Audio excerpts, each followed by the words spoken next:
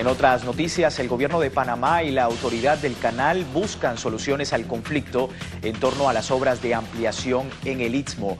El consorcio Grupos Unidos por el Canal, liderado por la española SACIR, busca una solución a la pelea por los multimillonarios costes adicionales en la ampliación de la vía marítima interoceánica que amenazan con demorar las obras.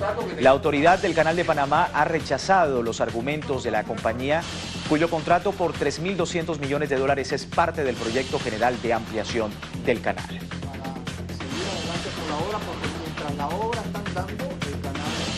Las negociaciones con